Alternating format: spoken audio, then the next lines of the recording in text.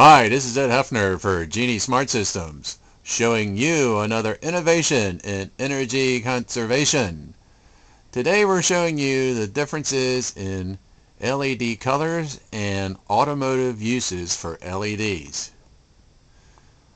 As you can see, we have a cool white and quite possibly a warm white LED, but that would be incorrect because the warm white is really an incandescent and the cool white is an LED showing you that you can easily convert your van or car over to LED lighting that uses less electricity so you don't have to worry about discharging the battery so quickly.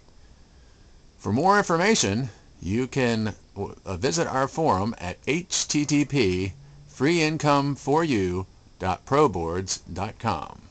Thank you and have a nice day.